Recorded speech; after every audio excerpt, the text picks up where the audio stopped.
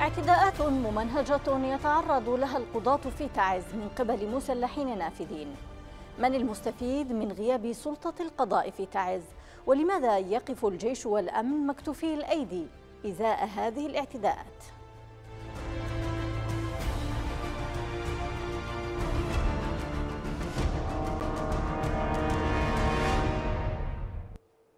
أهلا بكم. خلال يومين تعرض أعضاء السلك القضائي في تعز لخمسة اعتداءات من قبل مسلحين تابعين للجيش ونافذين من أقارب بعض القيادات الأمنية والعسكرية في المحافظة. استمرار تعز في وضع لا تحرير وضعف الدولة جعل من المدينة بيئة خصبة للعصابات والنافذين لممارسة أعمال النهب والجباية والبسط على ممتلكات المواطنين. بل إن ذلك يتم أحيانا من قبل نافذين تابعين لقيادات عسكرية وأمنية عليا في المحافظة إذا هل أصبحت جملة حميها حراميها كما يقال ملخصا للوضع في تعز؟ ردود فعل قادة الجيش بحسب إفادات بعض القضاة الذين تم الاعتداء عليهم لقناة بلقيس. تفيد أن من يحكم تعز اليوم لا يسعى لإنفاذ القانون وتطبيق النظام بل يسعى لاستثمار في مناخ الفوضى وتنمية مشاريع النهب والبسط والجباية.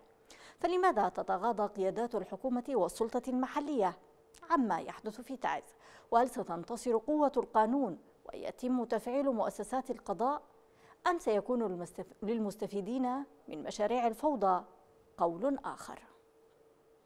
قردنا من سلاحي من آه، من تلفوني الشخصي. ما أنا من اتصال برئيس النيابة اتصال برئيس المحكمة. قام يوجه لي سب وتهديد ودخلنا الحبس.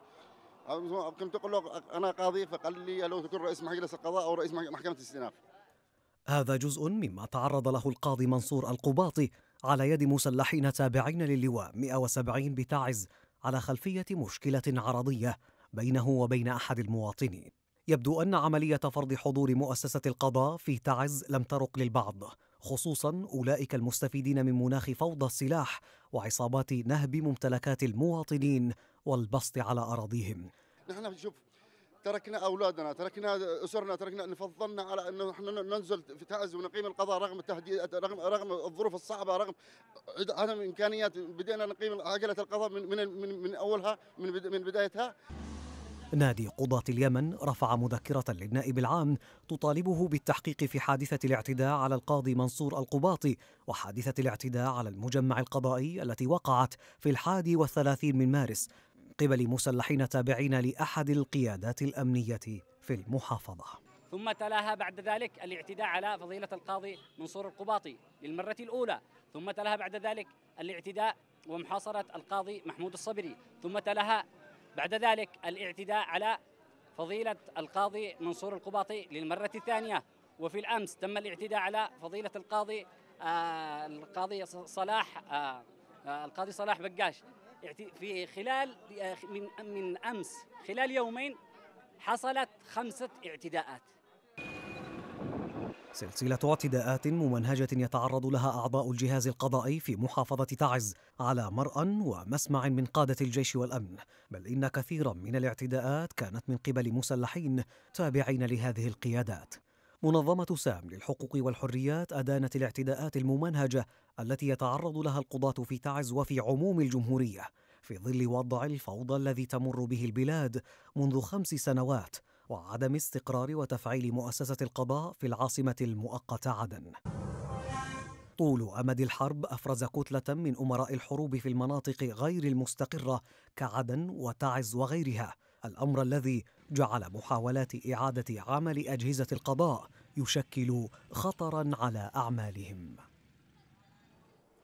إذا مشاهدينا الكرام في هذه الحلقة سيكون معنا القاضي أنور المجيدي عبر الأقمار الاصطناعية من تعز وسينضم معه آخرون خلال هذه الحلقة. بداية مساء الخير سيادة القاضي أنور.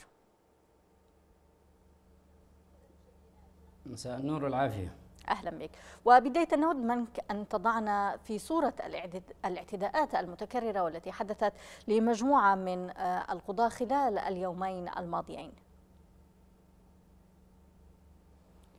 آه، ما أود التعليق عليه في البداية بأن التقرير الذي آه، ابتدأتم به كان حادا على قيادة الجيش والأمن. فليس كل الاعتداءات آه، يرضى عنها قيادة الجيش والأمن. آه، نحن في تعز منطقة محاصرة ومنطقة تتواجد فيها عشرات الجبهات والأفراد الموجودين في داخل تعز. بلا شك يتبعون اللواء 170 أو اللواء 22 أو اللواء 17 وأفعالهم ليست كلها برضا قيادتهم ولم نجد أي فعل إجرامي طال القضاة آه، بموافقة ورضا من قادة الألوية العسكرية إذا أو قيادة المحور إذا ما هي ردود أفعالهم لما حدث يعني؟ أو الأمن. نعم يعني أيوة. ما يحدث هو أين القادة؟ أين القادة إذا في ظل ما يحدث؟ لحظة. ليس ليس هناك رضا عن الأفعال الإجرامية التي طالت القضاة. نعم. هناك تقصير من قبل الجهات العسكرية والجهات الأمنية في ضبط المعتدين. هناك تراخي هناك عدم إنفاذ القانون عدم تنفيذ قرارات النيابة العامة. هناك نوع من المحاباة في بعض الاعتداءات. آه، أما أن الاعتداءات هي بموافقة قيادة المحور بموافقة قادة الألوية ذلك ليس صحيحا. نحن في منطقة عسكرية الأفراد المتواجدين في مدينة تعز أغلبهم ينتمون إلى تلك الألوية العسكرية لكن نحمل المسؤولية. في الأول والأخير القيادة العسكرية والقيادة الأمنية في ضبط المعتدين وإيصالهم إلى النيابة العامة للتحقيق معهم. نعم. آه سنكتشف بأن القيادة الأمنية راضية عن الاعتداءات حينما لا تنفذ قرارات النيابة العامة التي حددت المتهمين بأسمائهم وصفاتهم وإلى أي وحدة عسكرية ينتمون. عندما يصل قرارات النيابة العامة إليهم ولا ينفذونها عندئذ آه، ستتضح الحقيقة بأن قادة الألوية وقيادة المحور وإدارة الأمن راضية عن الاعتداءات على القضاة بل تسعى إلى تعطيل عمل المحاكم والنيابات في مدينة تعز. نعم هل هل النيابة تستطيع ضبط ضبط ضبط هؤلاء المعتدين أم أن الأمر مخول لقياداتهم العسكرية؟ النيابة العامة ترفع إليها الدعاوي والبلاغات والشكاوي ويتم تحديد المتهمين من قبل المعتدى عليهم وعليها أن تقوم بتكليف المتهمين بالحضور عبر الوحدات العسكرية وعبر قادة الألوية التي ينتمي إليها المعتدين وعبر قيادة المحور أو إدارة الأمن فعندما لا تقوم تلك الوحدات العسكرية بواجبها عندئذ نحمل القيادة العسكرية والأمنية المسؤولية الكاملة عن نعم. الاعتداءات على القضاة نعم ما حصل القاضي ما نعم. حصل يا أختي العزيزة تفضل. ما حصل أنه تم اعتداءات في, الأو... في الآونة الأخيرة وللأمانة تم ضبط بعض بعض المعتدين. القاضي منصور القباطي تم ضبط المعتدي عليه وهو الآن في السجن المركزي. بعض المعتدين على القاضي المناوب لمحكمة غرب تعز الابتدائية آه تم ضبطهم وإيصالهم إلى السجن المركزي والآخرون تم آه تكليفهم بالحضور وغدا سنرى تنفيذ قائد المحور. لقرارات النيابة العامة بالقبض قهرا وإيصالهم إلى النيابة العامة للتحقيق معهم وإرسالهم إلى السجن المركزي. نعم هناك قضايا تم الاعتداء فيها على قضاة كالقاضي عبد العزيز راجح رئيس الشعبة المدنية التي آه الاعتداء الذي آه آه تم رمي قنبلة إلى بيته ورصاص ولكن لم يحدد من هم المعتدين مجهولين. قضايا كثيرة تم الاعتداء فيها على قضاة والفاعلون مجهولون. أيضا تتحمل الجهات الأمنية مسؤولية ذلك كونها عاجزة عن الكشف عن الجريمة وعن ملاحقة المجرمين أيا كانوا. نعم إذا اسمح لنا آه، سيادة القاضي أن ينضم معنا أيضا القاضي منصور القباطي القاضي في المحكمة التجارية بتعز عبر الهاتف. آه، من تعز مساء الخير آه، قاضي منصور. مساء النور والعافية. أهلا وسهلا فيكم. أهلا بك. حضرتك أحد نعم حضرتك أحد القضاة الذين تم الاعتداء عليهم خلال الأيام الماضية وحسب حديث القاضي أنور فهذا الاعتداء الثاني آه، عليك. احكي لنا ما الذي حدث لك. اللي حدث أنه مجموعة من الأفراد التابعين للواء 170 آه، يعني لا هم جهات أمنية ولا لهم اختصاص في حل قضايا المواطنين ولا لهم أي صفة في في فيما قاموا به من إجراءات. آه، حاولوا يدخلوا في قضية يعني يعني مفتعله قضية مفتعله ليس لها اي يعني لا تحتاج ان نذكرها حتى.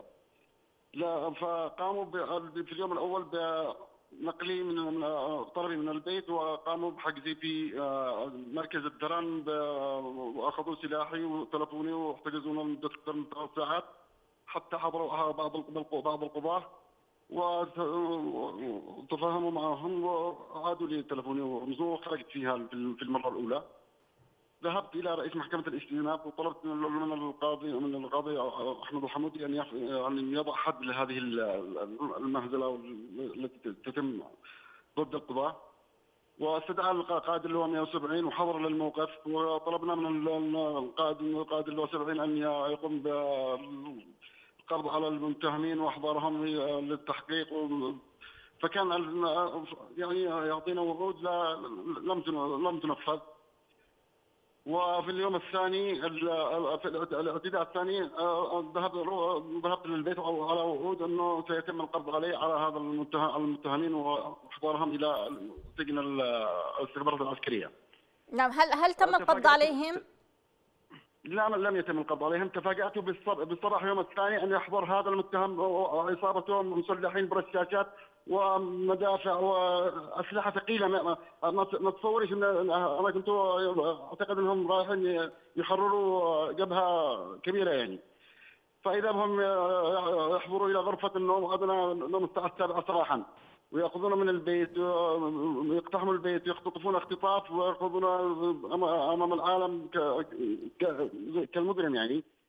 ويقوموا بالاعتداء عليها في على طول الطريق وحتى وصلنا إلى المركز وقاموا بالاعتداء عليها مرة بعقاب الأسلحة بكل أنحاء القسم ودعونا غرفة من الغرف الموجودة عندهم بعد تجريد من الأسلحة من من التلفون الشخصي من بطايقي من كل من كل شيء. يعني يعني تصوري هذا هذا يجري مع قاضي. تصوري إيش إيش الذي يجري مع المواطنين في هذا في هذا المركز نعم لماذا يعني برأيك تزايدت هذه الاعتداءات؟ معهم سجن خاص داخل المركز لا لهم حق فاتحين سجون خاصة يعني نعم لماذا تزايدت هذه الاعتداءات على على الجهة القضائية؟ كيف يا أستاذة؟ لماذا تزايدت هذه الاعتداءات في الاونه الأخيرة على سلك القضاء برأيك؟ أنا اشتي أقول لك حاجة تفضل هناك هناك في آه، أصحاب مصالح تضرروا من عودة عجله القضاء إلى إلى تعز. هناك من كان من يقوموا بنهب الأراضي العامة والخاصة واملاك المواطنين دون رادع لهم في فترات سارقه.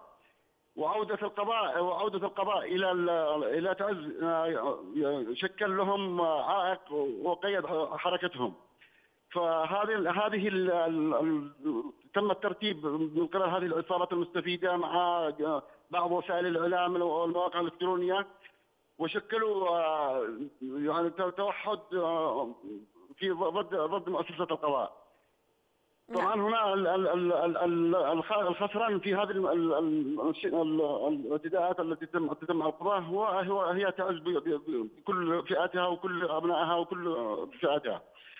لا ماذا ماذا ماذا ماذا يكسب المسؤولين أو قادة الألوية الذي الذي هم مهن هؤلاء المتهمين ويقوموا بعمل مظلة لهؤلاء الأشخاص مقابل ما تخسره تعز. نعم. إذا كان إذا كان إذا كان هناك فنحن نجل ونحترم الجيش الوطني طبعا لا مشكلة مع مع القضاء ومع الجيش الوطني لا خارج هناك مشكلة مع بعض منتسبي هذه الالويه والذي يوفر لهم الحماية من قبل بعض قاده الالويه هذه هذه الالويه نعم. نحن آه، نحن بحاجة إلى آه، وقفة جادة لإعادة القضاء إلى وهيبه القضاء في في في في كل أنحاء الجمهورية. لا لا لا دولة بدون بدون قضاء. لو نحن نحن تركنا نحن تركنا كثير من المغريات ونزلنا في ظروف صعبة في تعز في أيام كانت يطلق على تعز الإرهاب وانها وكر الإرهاب وحاولنا إعادة عجله القضاء لإقامة المؤسسات القانونية وإعادة الحياة إلى تعز آه، لكن نفاجأ في, في الأخير إن إننا نفاجأ بهذه بهذه الأشخاص الذي آه، تسيطر على على المشهد. نحن آه، يعني كنا نحن نطمح إلى وجود دولة عادلة للجميع للجميع يعني أما في في وضع في الوضع كوضع في هذا الوضع يعني باقي كرامتنا نزيدنا نفرط باقي كرامتنا هذا ما صعب إن إحنا نستمر في هذا في هذا الجانب. نعم. آه، قانونيا كيف يفترض أن يتم حل هذه القضية التي طالتك؟ آه، يعني وطالت أسرتك أيضا بتهديدهم ووجود هؤلاء المسلحين بالأسلحة الثقيلة أمام بيتك؟ آه، طبعا هذه المشكلة ليس مشكلتين أنا وحدي كل المشاكل يعني في في عائق أمام كل المشاكل التي التي يتم تعاملها. شوف المشاكل التي تحدث مع القضاة المفترض أن لا يتم التعامل معها كوقائع عادية. المفترض أن يتم التعامل معها بجدية وحزم وسرعة رادعة. لأن لو فرطنا بهيبة القضاء فرطنا بكل بالقضاء برمته. فرطنا بالعدالة. لا تلاحظون كل كل القضايا التي التي حدثت. إما أن لا لا هناك في مسؤولين لا لا لا يعني يحاولوا أنهم يغطوا ويستروا على بعض المتهمين أو هناك بعض المتهمين الذي الذين لم يتم كشف معرفتهم بسبب آه، ضعف المؤسسة الأمنية في باجراءات سريعه ورادعه وعدم استشعارها لخطورة الوضع أو الحادثة التي تتم فيها اعتداء على قاضي أو مستقضائيه أو من هذا من هذا القبيل. فهنا لابد من استشعار كل المسؤولين على ان على انها أن هذه الأفعال تمثل خطوره خطوره خطورة فادحه على تعز برمتها وعلى القضاء وعلى منصه العداله. نعم أين دور السلطة المحلية فيما حدث لسلك القضاء بشكل عام من اعتداءات متكررة ومتوالية؟ والله دور السلطة المحلية آه، يعني لا نقول إنه منعدم لكن أغلب القضايا يعني تنتهي بصلح بصلح عرف قبلي. هذا هذا شكل يعني تشجيع لبعض المتهمين أو بعض عندهم نازع اجرامي في في تكرار مثل هذه الحوادث.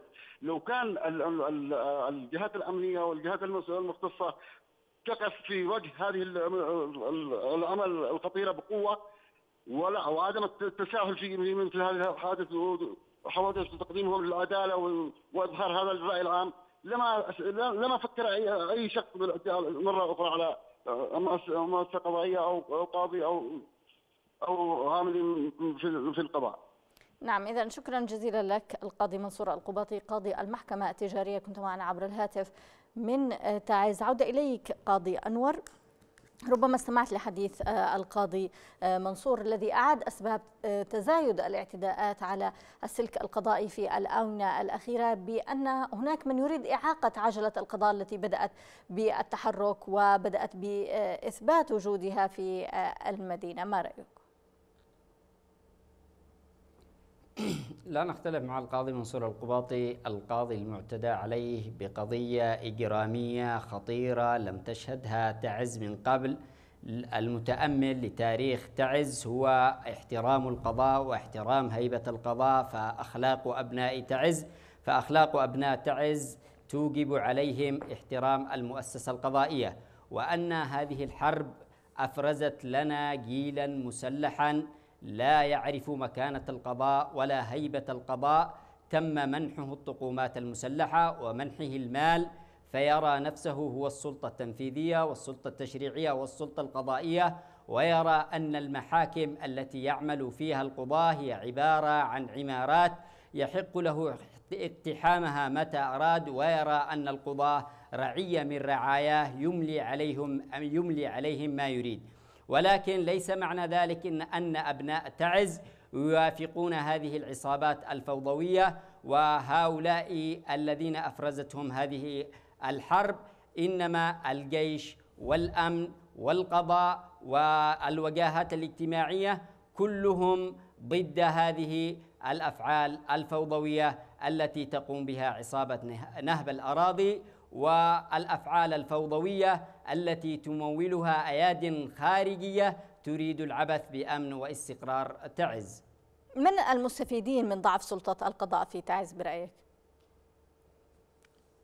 المستفيد من ضعف سلطة القضاء هي عصابة نهب الأراضي، هم المتنفذون المستفيد من ضعف القضاء في تعز وتعطيل عمل تعز هم من يريدوا لتعز أن تتحول من سلطة دولة إلى سلطة ميليشيا. القضاء البلد الذي لا يحترم فيه القضاء آه، لا يمكن أن نطلق عليه دولة. المستفيد آه، من ضعف القضاء وتعطيل عمل المحاكم والنيابات في الأول والأخير هم الطرف المعادي لتعز. هم الطرف الذي يريد لتعز أن ترفع المنظمات تقرير عنها بأن بأنه يحكمها شريعة الغاب. هؤلاء هم المستفيدون من تعطل عمل المحاكم والنيابات ومن غياب العدالة في تعز نعم إذا نادي القضاة رفع مذكرة للنائب العام بخصوص الاعتداءات التي تعرض لها القاضي منصور القباطي والمجمع التي تهجم عليه هشام عبد الواحد سرحان كما جاء في المذكرة ما الذي آه، تتوقعون أن يتم آه، أو يقوم به النائب العام؟ بالنسبة للنائب العام يمثله رئيس نيابة محافظة تعز وقد قام رئيس النيابة آه، بواجبه القانوني بأن أحال البلاغات المقدمة من المعتدى عليهم إلى أعضاء النيابة المحققين وقد قام أعضاء النيابة المحققون بالاستماع إلى المعتدى عليهم ثم تكليف المتهمين بالحضور عبر القادة العسكريين الذين يتبعونهم. آه، تم القبض على بعض على بعضهم وننتظر في يوم غد وبعد غد آه، القبض على الآخرين. نعم إذا آه، دعني أسألك قاضي أنور كونك المسؤول الإعلامي لنادي قضاة تعز ربما أشار القاضي منصور القباطي لضعف الإعلام لدى سلك القضاء وهناك من يستغل مواقع التواصل الاجتماعي في تشويه صورة القضاء وإبراز القضايا خلاف ما هي عليه بالأصل لكسب آه، تعاطف الناس وفرض آه، ما يريدون إملاءه حتى أنه ذكر في تصريح لقناة بلقيس أن هناك من يهدد بأن إن لم يتم الإفراج عن آه، أحد المتهمين سأوصل الأمر لوسائل التواصل الاجتماعي وكأنها أصبحت يعني البديل الذي يفرغ فيه الناس شكواهم هناك. بالنسبة للقضاء إعلامه هو إعلام الدولة الرسمي. القضاء هو مؤسسة من مؤسسات الدولة فالجيش والأمن آه، مهمتهم تنفيذ قرارات القضاء والإعلام آه، الرسمي آه، مهمته أيضا إظهار ما يريد القضاء إظهاره. لا القضاء لا يحتاج إلى إعلام مستقل ولكن على جميع الوسائل الإعلامية أن تقف مع القضاء وفي صف القضاء وفي صف القضاء فيما يحتاجه. الآن في تعز نحن نمر بمرحلة خطيرة وهي اعتداءات متكررة خلال 48 ساعة تم الاعتداء على أكثر من ستة قضاة. هذه اعتداءات ممنهجة وممولة. لو تنظرين إلى مواقع التواصل الاجتماعي آه، سوف ترين حملة شرسة تهدف إلى تعطيل عمل المحاكم والنيابات. يعرف الجيش والأمن من يقوم بهذه الحملة ومن يمولها وما الغرض منها. آه، فالإعلام آه، للقضاء هو إعلام الدولة الرسمي والوسائل الخاصة لا بد أن تقف مع القضاء لأن وقوفها مع القضاء هو وقوف مع أبناء المجتمع آه، بشكل عام. فالقضاء هو الملاذ الآمن ومتى هدمنا هذا الملاذ الآمن بقي الناس بدون ملاذ وتحكم في رقابهم وأموالهم وأعراضهم عصابات النهب ومشايخ والمشايخ النافذين الذين لا يفقهون من الشرع والقانون شيء يحكمون بموجب القوة وبشريعة الغاب. نعم إذا شكرا جزيلا لك القاضي أنور المجيدي المسؤول الإعلامي لنادي قضاة تعز. كنت معنا عبر الأقمار الاصطناعية من هناك وينضم معنا عبر الهاتف القاضي عبد الفتاح القميري عضو نيابة غرب تعز. مرحبا بك قاضي عبد الفتاح. أهلا وسهلا. أهلا بك. نود أن أسألك برأيك عن توقيت هذه الاعتداءات. لماذا بدأت كل هذه الاعتداءات خلال فترة قصيرة على أعضاء السلك القضائي؟ اولا الشكر الجزيل على هذا البرنامج الذي يسلط الضوء على قضية هامة تهم الوطن أجمع وليس شريحة معينة. ما يجب أن نلفت نظر العامه بأن القضاء هو الملاذ الجميع وهو اللبنة الأساسية لاستعادة الدولة المدنية الحديثة الذي ينشدها أحرار هذا الشعب اليمني وسطر من أجلها تضحيات الجسام. وإيمانا من رجال القضاء بأهمية تفعيل مؤسسات القضاء في هذه المحافظة الباسلة ورغم الظروف التي تمر بها المحافظة من حصار خانق طيلة الخمس سنوات الماضية وبالإمكانات المتاحة عاد القضاء إلى محرابه شامخا دون مقرات حقيقية وحماية كافية لها وغيرها من المعوقات ولم تقف جميعها عائقا أمامه. ولكن للأسف الشديد هناك ثلة فاسدة في هذه المدينة أزعجها عودة مؤسسات القضاء تعمل بشكل ممنهج ومنظم على تقويض أعمال السلطة القضائية بالمحافظة والتي بلغت ذروتها خلال الأيام الأخيرة بالاعتداء على أعضاء السلطة القضائية جسديا وإقتحام مقراتهم القضائية وحرمة منازلهم وشن حملة إعلامية شعواء ومضللة على وسائل الإعلام والتواصل الاجتماعي للنيل من شرف مهنة القضاء وقدسيته وتعطيل أعماله لكي تعود هذه المدينة كما يتوهمون إلى المربع الأول الذي كانت عليه قبل تفعيل مؤسسات القضاء الذي توقفت جراء الحرب الغاشمة. نعم اذا بريك من الذي يتحمل مسؤولية ازدهار كل هذه آه، الفوضى وسياسات التخريب على حساب الدولة وأجهزتها في آه، تعز؟ من يتحمل تلك المسؤولية من يقف من من, من يجب عليه أن يقوم بها وفقا للقانون. المؤسسة الأمنية التي يجب عليها أن توفر اولا الحماية الأمنية الكافية للمقررات القضائية والذي تنصلت عن القيام بواجبها بتوفير الحماية الأمنية رغم الاتفاقات والعود المتكررة في هذا الشأن. وأيضا من يجب عليهم القيام بسلطة الضبط وتنفيذ أوامر القضاء في ضبط المعتدين. هم من يتحملون تلك المسؤولية الكاملة. نعم. إذا آه، بريك ما هي مسؤولية مجلس القضاء الأعلى ووزارة العدل؟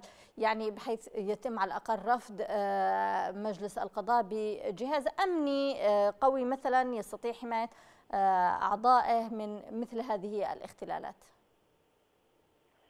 كان العمل في وتيره جيدة من سابق على إنشاء شرطة قضائية تتبع الجهاز القضائي ولكنها لم لم تفلح تلك الجهود ولم تخرج إلى النور.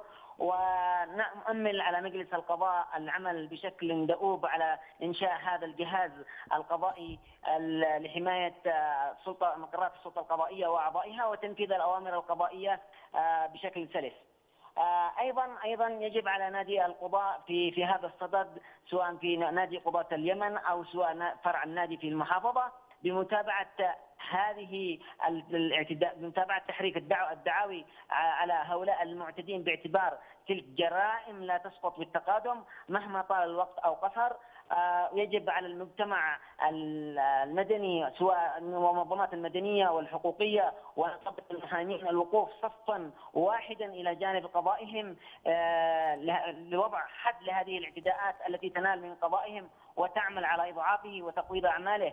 يعمل نادي القضاء حاليا على متابعة تحريك الدعوة الجزائية على المعتدين واتخاذ الإجراءات القانونية الكفيلة بضبطهم بإسقاط صفة الضبطية أو حتى الكفيلة بضبطهم بإسقاط صفة الضبطية القضائية على مأمورية الضبط القضائي في حال عدم قيامهم بواجبهم القانوني من ضبط البناء الذي والذي يعني إسقاط صفة الضبطية القضائية عزل مأمور الضبط القضائي أو نقله من عمله. نعم اذا سياده القاضي عبد الفتاح ابقى معنا سأعود إليك بعد أن ينضم معنا عبر الأقمار الاصطناعيه المحامي والناشط الحقوقي عمر الحميري من تعز مساء الخير أستاذ عمر. مساء الخير مرحبا سيدتي وبضيفك الكريم ومشاهدي قناتكم الكرام. أهلا بك. أستاذ عمر كيف تتابع مسلسل الاعتداءات المتكررة على سلك آه، أو على أعضاء السلك القضائي في تعز؟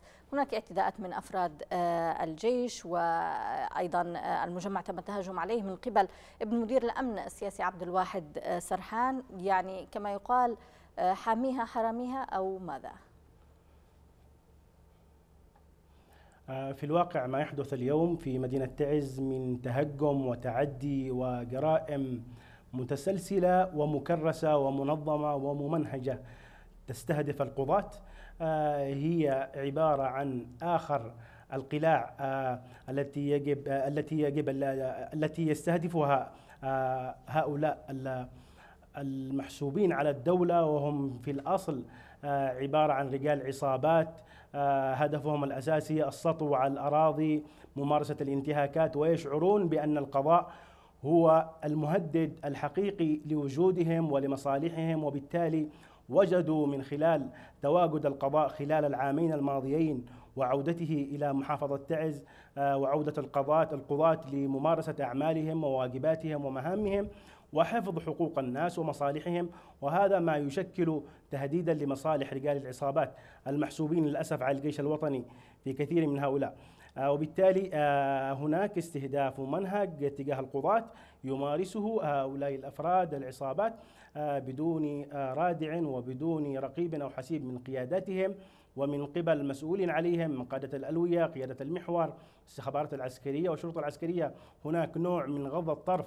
نجد الكثير من الجرائم إذا لم يبادر نادي القضاة بإصدار بيانات ومناشدة وشكاوى وتحريك دعوى جنائية فإن هذه القضايا تميع وتموت. هناك نوع من محاولة غض الطرف وأيضا الوقوف في جانب المعتدين لا الوقوف في جانب القضاة. آه، من قيام من محاولات تصالح بالضغط على القضاة للتنازل عن شكاويهم. بمحاولة تمييع القضايا تحت مبرر ظروف المرحلة وأن هؤلاء رجال جبهات بينما هم بعيدين كل البعد عن الجبهات ورجال الشرف الذين يقاتلون الحوثي في الميدان.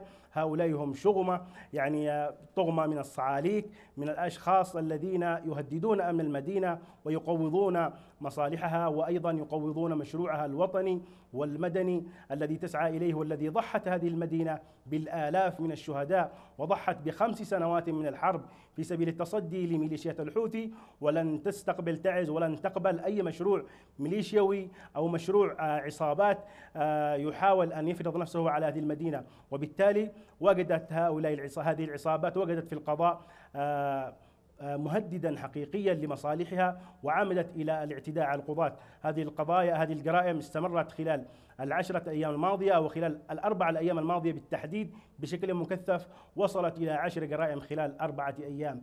وهذه حالة غير مسبوقة لا في اليمن ولا في الوطن العربي. وأعتقد نعم. أنه لم يحدث في العالم أن تم الاعتداء على عشرة قضاة خلال أربعة أيام. هذا استهداف ممنهج ولا يمكن القول بأنها حالات فردية أو أنها عفوية. وبالتالي نعم يجب سأعود إليك أستاذ عمر. لهذه العصابات ولمشروعها. نعم دعني فقط أعود للقاضي عبد الفتاح. سيادة القاضي يعني أود أن أسألك أين قيادة السلطة المحلية من هذه الاختلالات؟ هل يعقل أن يتم الحديث من جميع وسائل الإعلام من الناس الذين ضجوا بكل هذه الاختلالات والفساد القائم من هذه الأجهزة العسكرية وال يعني والمسلحة آه بواقع اعتداءات متكررة على آه القضاة فأين هي السلطة المحلية؟ كان المتوجب على السلطة المحلية والقيادات الأمنية والعسكرية المسارعة في ضبط المعتدين لا لا لا لا لا, لا, لا عدم ضبطهم وتشجيع من يقومون بالتشويه والتحريض التحريض الإعلامي الذي يتناول قرارات وأحكام القضاء الغير النهائية والتعليق عليها بالنقد وهي ما تزال محل نظر القضاء. آه، في القضية الأخيرة التي لاقت ضجيجا إعلاميا بإزالة البيت الخاص آه، بتلك المرأة المدعى النائحة في آه، خاض في وقائعها الخائبون ووصل الحد بذلك إلى التحريض بالقتل على القاضي مصدر قرار الإزالة في وسائل التواصل الاجتماعي والنيل من القضاء واتهامهم بأنواع التهم المستوجبة للمحاكمة ممن صدرت عنهم ورأينا كيف نصب كل واحد نفسه آه، قاضيا فيها ولو نظرنا إلى هؤلاء نجدهم من غير المتخصصين أو من المتخصصين الذين لم يعرفوا عن تفاصيل آه، هذه القضية سوى ما نشر في وسائل الإعلام والتواصل الاجتماعي من بعض الأطراف ذوي المصلحة الذين تناولوا القضية بما يخدم مصالحهم فيها. فلكم وللمشاهد الكريم أن تتخيلوا كيف تم تجيش المجتمع لتشكيل رأي عام حول هذه القضية مما يعد ذلك آه، تحديدا خطيرا لاستقلال القاضي الذي ينظر هذه القضية وتحديد حياته أيضا بعد التحريض العلني آه، بالقتل عليه. آه، رغم أن القانون قد كفل لكل أطراف الدعوة القضائية ومن لهم صفة أو مصلحة فيها ممارسة حقوقهم المشروعة في التظلم من تلك القرارات والاعتراض عليها والطعن عن والطعن في الأحكام التي يصدرها القضاء ولا داعي لتناولها عبر وسائل الإعلام والتواصل الاجتماعي ومناقشتها وإبداء الرأي بشأنها وإن كان قانون الصحافة والمطبوعات آه، يحظر النشر يحظر النشر عن وقائع التحقيق أثناء مرحلتي آه، التحقيق والمحاكمة بما يؤثر سير العدالة والتحريض آه، في استخدام العنف والإرهاب وقذف وتشويه نعم. سمعه الآخرين وأفرد عقوبة أيضا في حال عن مخالفة ذلك بالحبس أو الغرامة والمصادرة. وما يجب على وسائل الإعلام أستاذة آه، وأيضا الصحفيين ومرتادي التواصل الاجتماعي التمييز بين ما هو نقدا للوظيفة وبين ما هو مساسا بشخص الموظف العام وليس إليه. فالأول يبيحه القانون إذا توافرت شروطه نعم. والآخر يجرمه القانون إذن... في, الأحو... في في كل الأحوال ويعاقب على ذلك بالحبس. نعم شكرا جزيلا لك القاضي عبد الفتاح القميري عضو نيابة غرب تعز كنت معنا عبر الهاتف. من هناك عودة إليك أستاذ عمر. أستاذ عمر آه، سألت القاضي عبد الفتاح حول آه، غياب السلطة المحلية. فعلا أين هي الحكومة المحافظ المجتمع المدني من كل هؤلاء الذين ذكرتهم في إجابتك السابقة؟ يعني هؤلاء النهابين والجباة ومجموعة الصعاليك الذين وصفتهم يقوضون أجهزة الدولة في تعز. هل يعقل أنه لا أحد يعني قدر عليهم؟ آه، في الواقع إذا نظرنا إلى آه، أبرز القضايا والجرائم التي مورست ضد القضاة نجد أن مرتكبيها هم من قادة المجاميع أو أبناء قادة من الطراز الأول من قادة الصف الأول في الجيش والمؤسسة العسكرية. وبالتالي فإن هذه الجرائم هي جرائم آه، يحجم الكثير من رجال السلطة المحلية أو الآمن عن مواجهتها بقوة. آه، نظرا لمحسوبيات ومصالح مشتركة وهناك نوع من التماهي بين آه، المصالح بين هؤلاء وبالتالي تسقط هذه الحقوق. ونحن نعلم جيدا أن الاعتداء على قاضي هو اعتداء على كامل المجتمع ولا يمس القاضي بشخصه لأن القاضي بإمكانه أن ينتقل إلى محافظة أخرى ويعمل في مكان توفر له بيئة آه، بيئة أعمال آمنة. ولكن المجتمع هو المتضرر من غياب القضاة والأكفاء. وأصحاب الخبرات. آه، ولن يكون البديل إلا من أصحاب الخبرات الأقل والأشخاص الذين يتم تصعيدهم من موظفي وكتبة المحاكم. آه، نحن نشاهد الآن عزوفا من جانب الكثير من القضاة من العودة إلى محافظة تعز نتيجة الاعتداءات المتكررة على القضاة. آه، نشاهد أن هناك إحجام وهناك أيضا رغبة لدى الكثير من القضاة بالمغادرة محافظة تعز لولا استشعارهم للمسؤولية ولولا علمهم بأن هناك مصالح ستضيع خلال الأيام الماضية خلال الثلاث الأيام الماضية ورغم أنها اجازه قضائية آه، نتيجة للاعتداءات التي استهدفت القاضي آه، أنور المجيدي والقاضي منصور القباطي وغيره من القضاة هناك إضراب عن العمل رغم أنها اجازه قضائية ولا يعمل سوى القضاء المستعجل ولكن هناك ضرر نتيجة هذا الإضراب. آه، يستشعر القضاة مسؤوليتهم ويودون العودة إلى العمل ولكن لا يمكن للقاضي أن يعود إلى العمل وهو لا يجد إنصافا من جانب السلطات العسكرية والأمنية التي بإمكانها أن تقبض على هؤلاء المعتدين. ولكنها لم تحرك ساكنا. يتم التعامل مع المعتدين وكأنهم أطفال مدللين وهم بالفعل هم أطفال مدللين للقادة العسكريين وهناك مصالح مشتركة بينهم ولم نجد ولم نشعر أن هناك نوع من الحزم تجاه قضايا التي تمس القضاة. ندرك جيدا أن الاعتداء على قاضي هو اعتداء على كامل المجتمع وأن آه، آه، استشعار القاضي الخطر هو يعني أن المواطن بدرجة أولى هو أيضا معرض للخطر. إلى من يلقى المواطن عندما يكون القاضي بنفسه يتعرض للجناية ولا يجد الإنصاف؟ ندرك جيدا أن القضاة هي مؤسسة مستقلة عن السلطة المحلية وعن المؤسسة العسكرية والأمنية.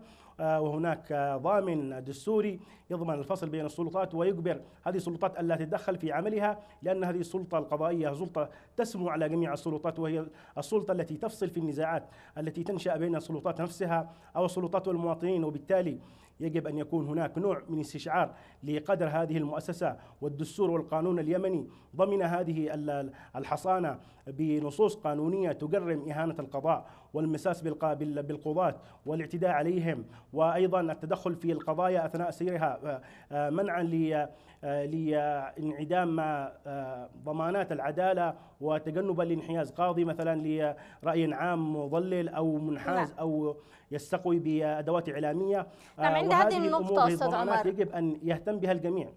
عند هذه النقطة مسألة الإعلام وكيف أنه ربما يضلل بعض المعلومات. وأنت يعني أحد الذين كشفوا آه، بعض خبايا القضية التي تم آه، تناولها في آه، وسائل التواصل الاجتماعي وهي قضية المرأة التي تم هدم بيتها. وأظهرت كم كمية المغالطات في ما حدث وكمية الاختلافات في القول. برأيك كيف يؤثر الإعلام سلبا على أداء القضاء وكذلك استخدام وسائل التواصل الاجتماعي. في الأساس أن القاضي هو آه، سلطة مستقلة تنظر إلى جميع الأطراف بالتساوي. حياد القاضي هو الضامن الحقيقي للعدالة. عندما يشعر المواطنون والأطراف جميعا مدعين ومدعى عليهم مجني عليهم أو متهمين. يشعرون بأن هناك سلطة غير منحازة لأحد الأطراف فإنهم يشعرون بأن هناك ضمانات للعدالة ويقدمون ما لديهم وينتظرون حكما عادلا من هذه السلطة ومن هذا القاضي.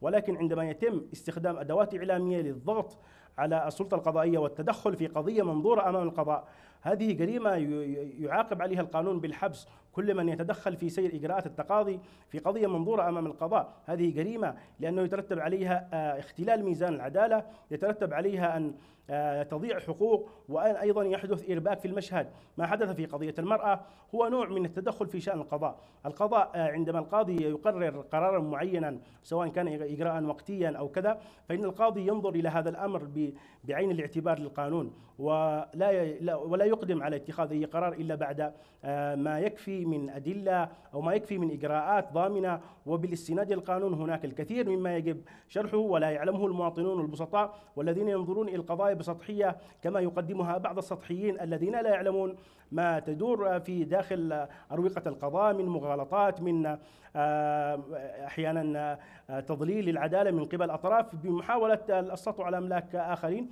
ولكن القضاء هو الضامن لهذه الحقوق هو الذي ينظر إلى الجميع بعين المساواة بعين العدالة. ولا يجوز استخدام القضاء للضغط يعني استخدام الإعلام للضغط على القضاء آه، في مصلحة أحد الأطراف.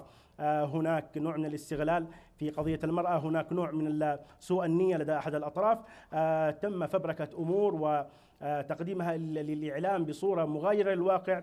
عندما تم كشف بعض الأمور آه، هدأت الأصوات وفعلا لجأوا بعد أن كان هناك الكثيرين يحرضون ضد القاضي ويهددون حياته. أصبحوا يلقون يقولون آه، هذه القضية لا نفصل فيها غير القضاء. إذا كانت مرافعة واحدة عبر منصة التواصل الاجتماعي تغير رأي عام فإن القاضي ينظر يوميا العشرات من المرافعات يقدمها محامون مسنودة بالأدلة والبراهين. والقاضي هنا أمام مسؤولية كبيرة لأنه ينظر إلى جميع الأدلة وينظر إلى جميع الإجراءات بحرص وعناية. ونحن نعلم أن القضاة اليوم في مدينة تعز وفي جميع عموم الجمهورية هناك ضغط كبير عليهم في عدد القضايا. نعم. نظرا لأن عدد القضاة في الجمهورية اليمنية بشكل عام لا يتناسب مع عدد المواطنين ومع عدد الاختلالات والقضايا التي آه، تصل إلى القضاء كل يوم. آه، يعني عندما نشاهد في جدول أحد القضاة 20 قضية في اليوم آه، كيف للقاضي أن يفصل في هذه القضايا كلها ولكنهم يتحملون الضغط؟ من أجل إحقاق العدالة. هناك نوع من أحيانا تحصل أخطاء. نعم لا يوجد أحد من البشر معصوم من الخطأ ولكن يجب علينا أن ننظر إلى جميع القضايا من جميع الزوايا وألا نتدخل آه، في شأن العدالة وألا نقحم العدالة في مناكفات سياسية أو إعلامية أو حزبية نعم. آه، تقديسا لدورها ولمهامها لأنه عندما يتضرر القضاء فإن المجتمع هو من يتضرر وإلا في القاضي فإنه يقوم بمهمة عادلة وبإمكانه أن آه، إذا لم يجد الاحترام والقدر الكافي من الأمان والتقدير وأيضا ضبط المعتدين عليه فإن بإمكانه أن يضرب عن عمله له مبرراته والمتضرر هو المواطن وحده لا غير. وبالتالي آه، جميع من يتدخلون في شأن القضاء ويحاولون النيل من القضاة سواء كانت لهم أسباب آه، ومصالح آه، يريدون من خلالها تقويض القضاء لمصالح العصابات وللمشايخ وللاشخاص الذين لديهم مصالح في غاب القضاء أو الأشخاص الذين يهرفون بما لا يعرفون ولا يعرفون نعم. حدود نعم. ما ينص عليه القانون من أنه لا يجوز التدخل في شؤون القضاء ننصحهم بالابتعاد والكف عن هذه الأساليب شكرا لك. واحترام القضاء واحترام رسالته المحامي والناشط الحقوقي عمر الحميري شكرا جزيلا لك كنت معنا عبر الأقمار الإصطناعية من تعز أشكر لكم أيضا مشاهدينا الكرام لحسن متابعتكم. لن ألتقيكم في مساء من جديد. كونوا برعاية الله وأمنه.